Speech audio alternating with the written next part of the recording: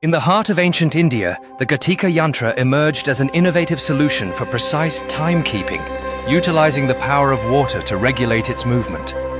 This extraordinary clock symbolizes the ingenuity of early inventors who harnessed natural elements to create tools that marked the hours. Crafted with precision, each Ghatika Yantra was a marvel of engineering, designed not only to tell time, but to do so in harmony with the rhythms of nature. As the water flowed, it activated gears and levers, presenting an elegant dance of mechanical artistry while illuminating the time of day. Scholars and philosophers marveled at the Ghatika Yantra, recognizing its importance in aligning daily activities with celestial events. This revolutionary device not only served practical purposes, but also inspired deeper contemplation about time and existence. In vibrant marketplaces, villagers relied on the Ghatika Yantra to synchronize their lives from harvesting crops to celebrating festivals.